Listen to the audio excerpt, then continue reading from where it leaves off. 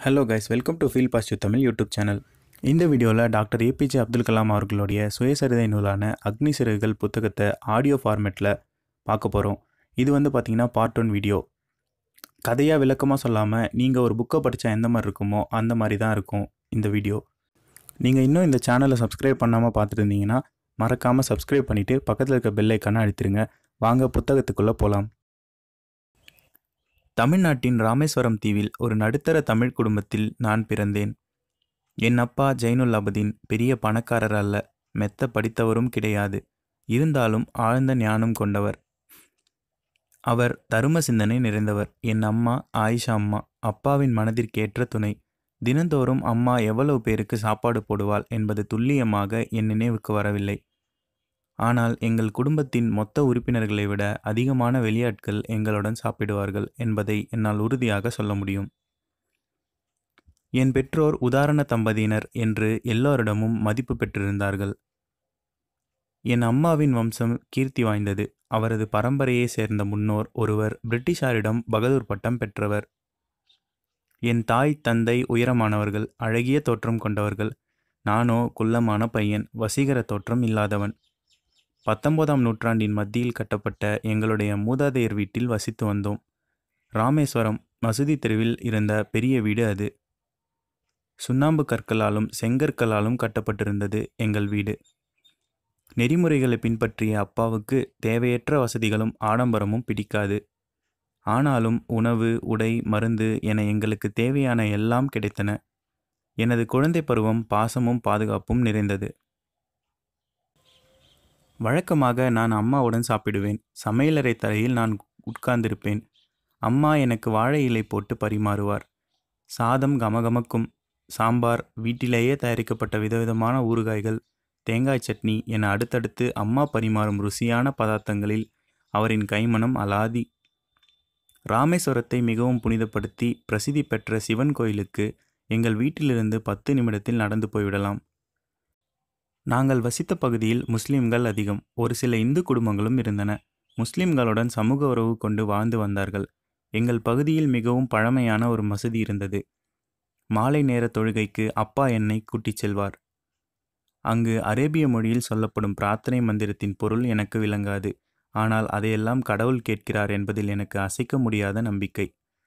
என் அப்பா தொழுகை முடிந்து வரும் வரை வெவ்வேறு மதத்தை சேர்ந்தவர்கள் எல்லாம் மசூதிக்கு வெளியே அவருக்காக காத்திருப்பார்கள். சின்ன பாத்திரங்கள் கொண்டு வந்து தண்ணீரை அவரிடம் கொடுப்பார்கள். அதில் விரல் நுனியை நனைத்து பிரார்த்தனை செய்வார். அந்த தண்ணீரை அவர்கள் தத்தம் வீட்டுக்கு கொண்டு சென்று நோயாளிகளுக்கு கொடுப்பார்கள். குணமடைந்த பிறகு எங்கள் வீட்டுக்கு வந்து நன்றி தெரிவித்து போவதும் எனக்கு நினைவிருக்கிறது. தயையும் கருணையும் கொண்ட அல்லாவுக்கு நன்றி சொல்லும்படி புன்முறுவலுடன் அவர்களிடம் அப்பா சொல்லுவார். ராமேஸ்வரம் கோவிலின் தலைமை குருக்கள் பக்ஷி லக்ஷ்மண சாஸ்திரி என் அப்பாவுக்கு மிகவும் நெருக்கமான நண்பர். இரண்டு பேரும் தத்தம் பாரம்பரிய ஆசார உடையணிந்து ஆன்மீக விஷயங்களை விஸ்தாரமாக பேசிக்கொண்டிருப்பார்கள். எனது பசுமையான நினைவுகளிடம் ஆழமாக பதிந்துவிட்ட காட்சிகளில் இதுவும் ஒன்று.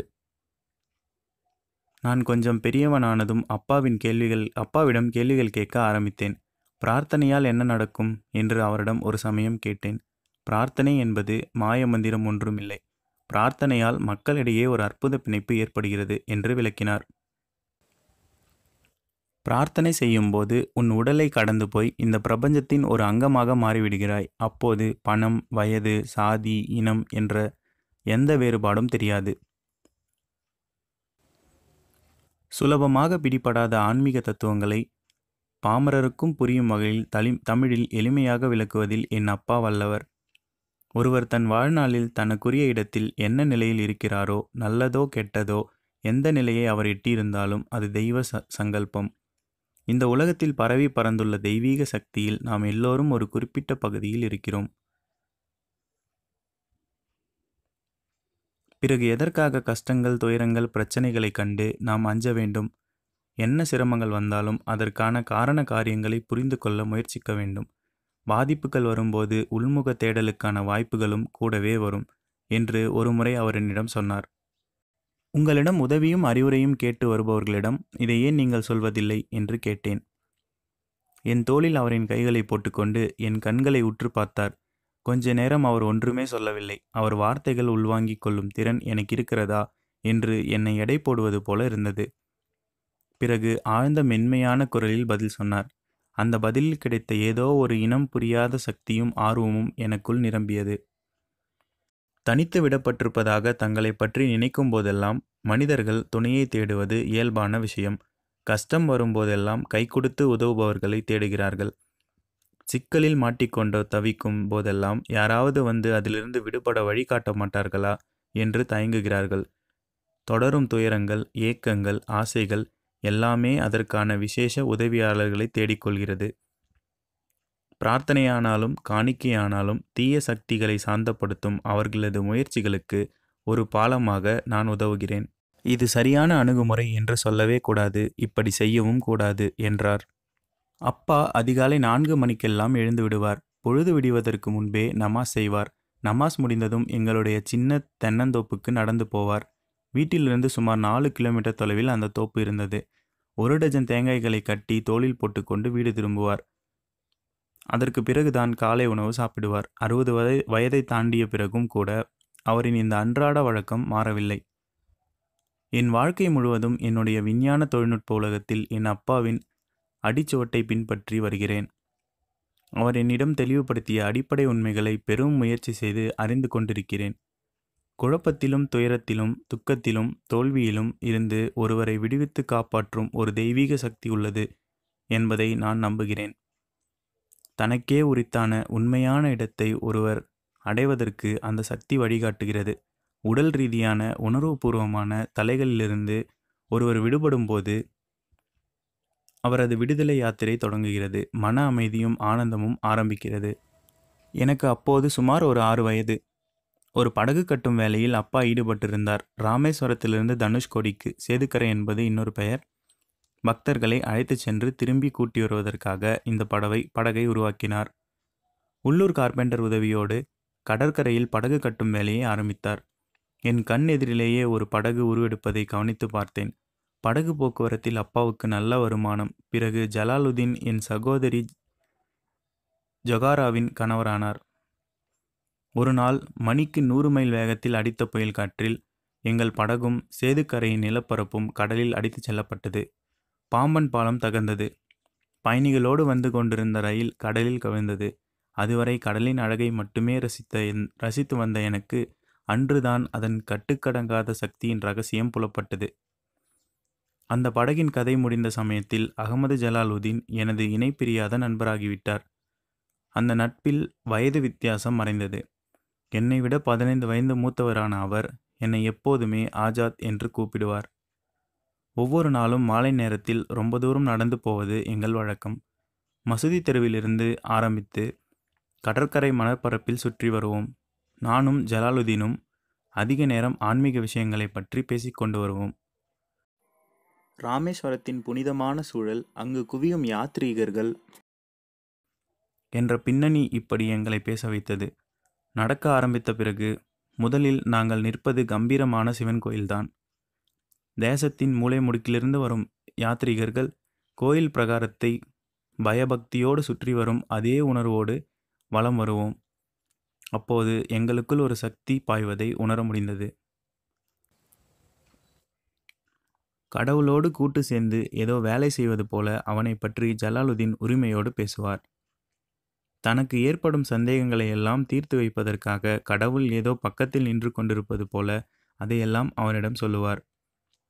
அப்போது அவரை உற்று கவனிப்பேன். பிறகு கோயிலை சுற்றிலும் பெருந்திரளாக வந்து கொண்டிருக்கும் பக்தர்களையும் கடலில் அவர்கள் புனித நீராடுதலையும் வைதிக சடங்குகளை செய்வதிலையும் கண்ணுக்கு தெரியாத சக்தியிடம் பயபக்தியோடு பிரார்த்தனை செய்வதையும் கவனித்து பார்ப்பேன்.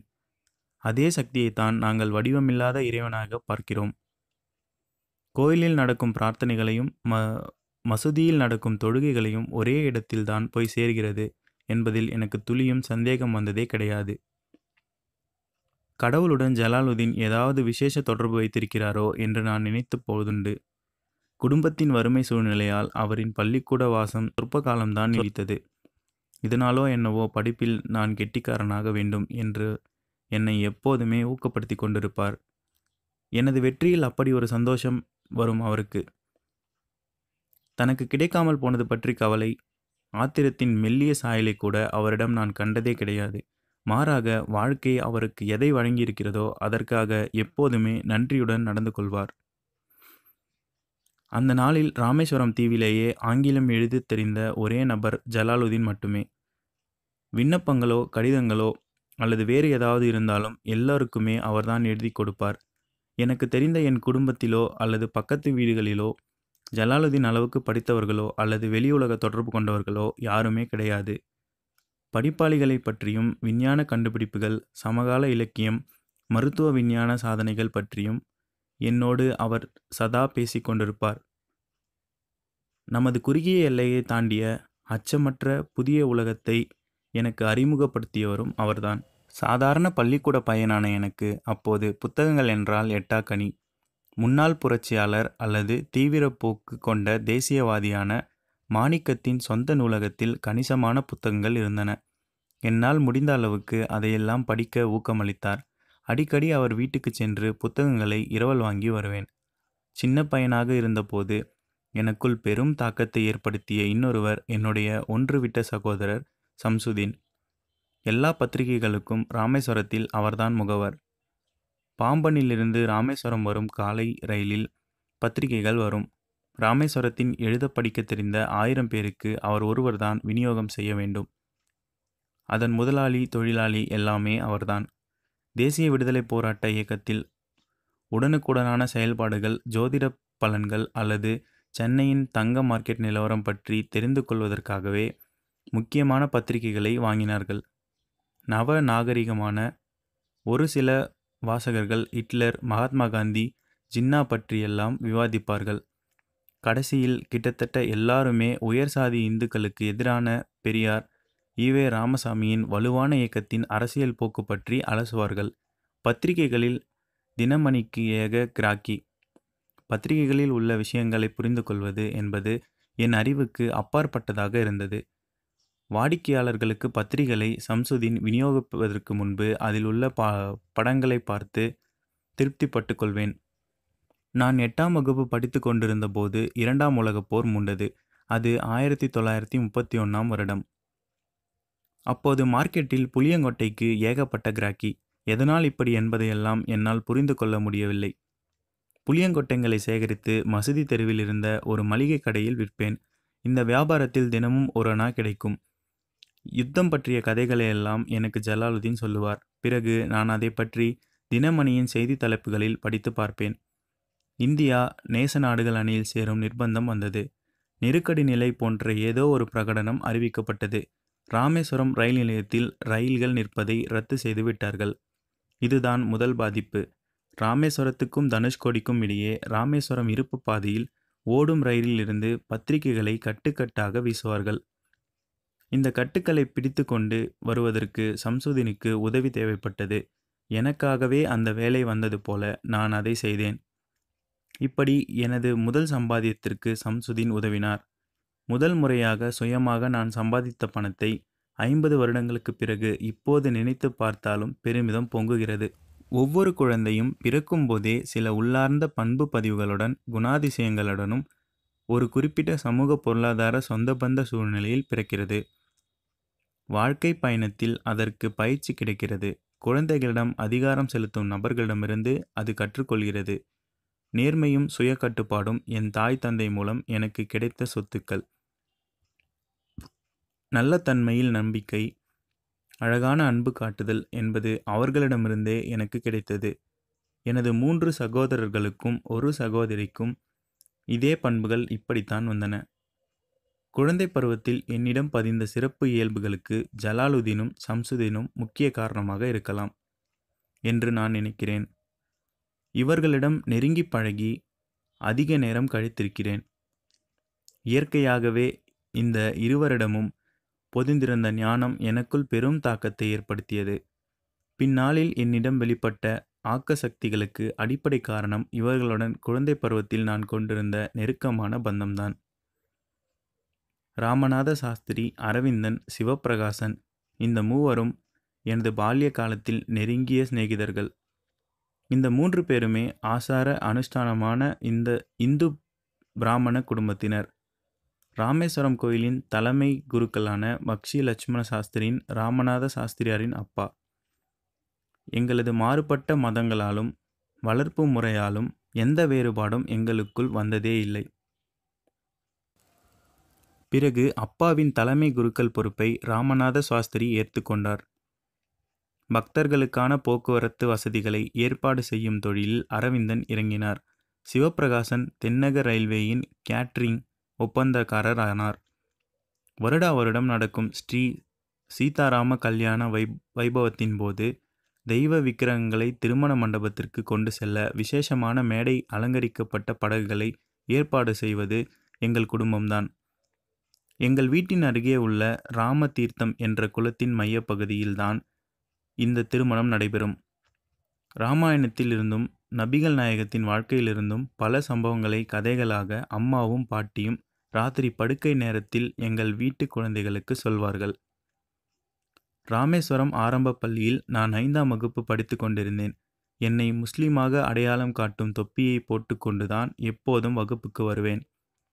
முதல் வரிசையில் ராமநாத சாஸ்திரிக்கு பக்கத்தில்தான் என்றுமே உட்கார்ந்திருப்பேன். அவன் பூணூலும் குடிமையுமாக இருப்பான்.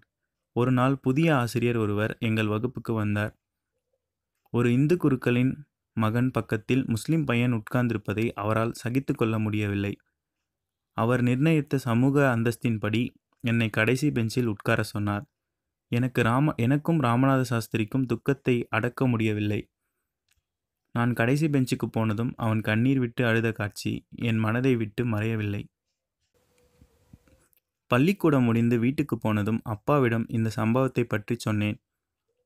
ராமநாத சாஸ்திரியும் அவன் அப்பாவிடம் சொல்லிவிட்டான். அந்த ஆசிரியரை வரவழைத்து லட்சுமண சாஸ்திரி எங்கள் முன்னிலையில் அவரை கண்டித்தார். கள்ளம் கவடம் தெரியாத பச்சை குழந்தைகள் மனதில் இப்படி சமூக ஏற்றத்தாழ்வு சமய து துவேஷம் என்ற நஞ்சை புகுத்தக்கூடாது என்று எச்சரித்தார். ஒன்று மன்னிப்பு கேட்க வேண்டும் இல்லாவிட்டால் தீவை விட்டு போய்விட வேண்டும் என்று அந்த ஆசிரியரிடம் அவர் கடுமையாக கூறினார்.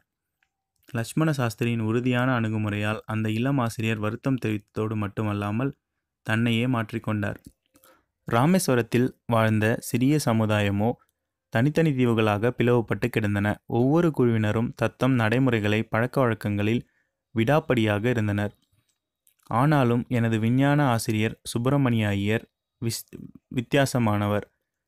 ஆச்சாரமான பிராமணராக இருந்தும் புரட்சிகரமான சிந்தனை கொண்டவர். அவரது மனைவியோ பழைய நடைமுறைகளை மாற்றிக்கொள்ள விரும்பாதவர். பலதரப்பட்ட பின்னணி கொண்ட மக்களும் இரண்டர கலந்து இணக்கமாக வாழ வேண்டும் என்பதற்காக சமூக தடைகளை தகர்ப்பதில் தீவிரமாக ஈடுபட்டார் சுப்பிரமணிய ஐயர் என்னுடன் நீண்ட நேரம் செலவழிப்பார். பெரிய நகரங்களில் உள்ள மெத்த படித்தவர்களுக்கு சமமாக நீ உயர வேண்டும் கலாம் என்று பிரியமுடன் அவர் சொல்லுவார். ஒரு நாள் அவர் வீட்டில் சாப்பிடுவதற்கு என்னை அழைத்திருந்தார். அனுஷ்டானமான சுத்தபத்தம் நிறைந்த சமையலறையில் ஒரு முஸ்லிம் பையனை சாப்பிட வைப்பது என்பது அவரது மனைவியை அதிர்ச்சி அடைய செய்தது. எனக்கு உணவு பரிமாற அந்த அம்மையார் மறுத்துவிட்டார். சுப்பிரமணிய ஐயர் எதுவுமே நடக்காதது போல சாதாரணமாக இருந்தார். மனைவியிடம் கோபப்படவும் இல்லை. தமது கையால் அவரே எனக்கு உணவு பரிமாறினார்.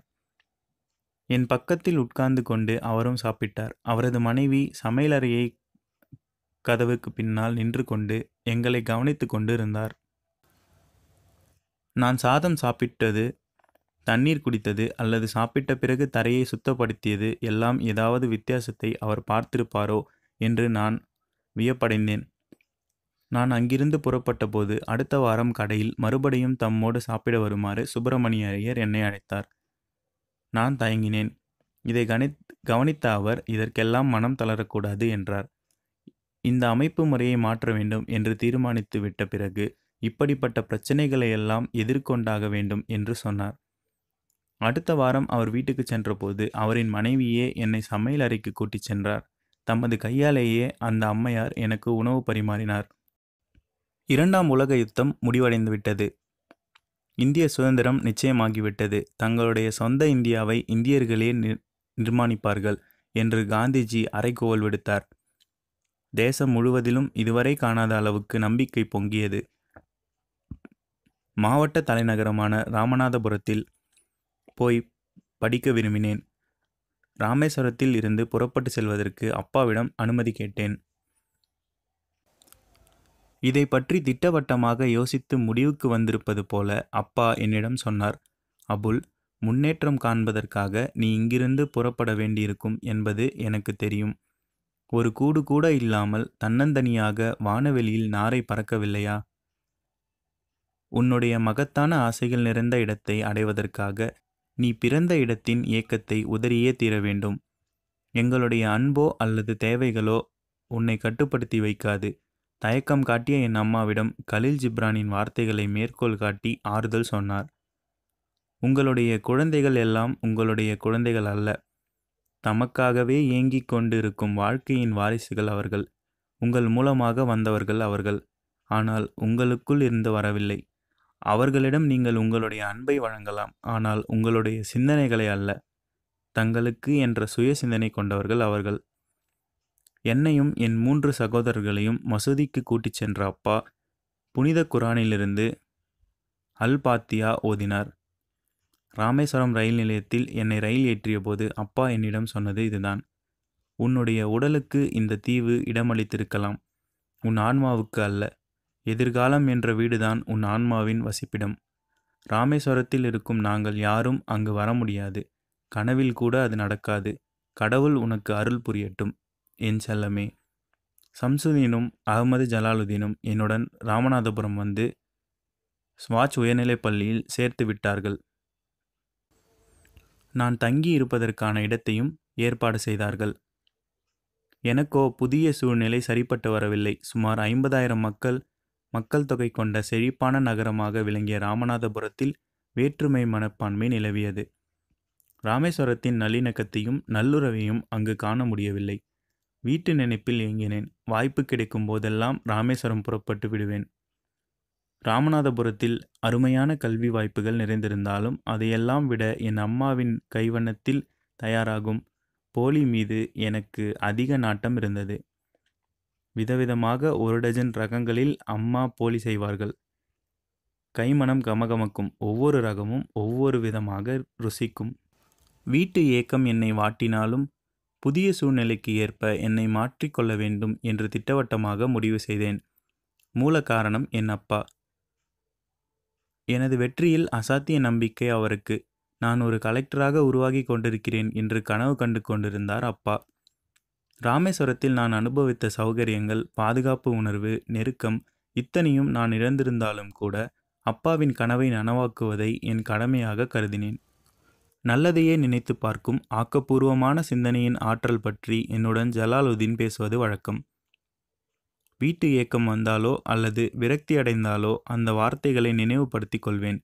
அவர் சொன்னபடியே என் எண்ணங்களையும் மனதையும் கட்டுப்படுத்தி என் தலைவிதியை எனக்கு சாதகமாக அமைத்துக்கொள்ள கடுமையாக முயற்சி செய்தேன். ஆனால் என் தலைவிதி என்னை மறுபடியும் ராமேஸ்வரம் கொண்டு வந்து சேர்க்கவில்லை என்பதுதான் வேடிக்கை. மாறாக என் குழந்தை பருவம் அரும்பிய பூமியிலிருந்து என்னை வெகு தூரத்துக்கு அது அழைத்துச் சென்றது.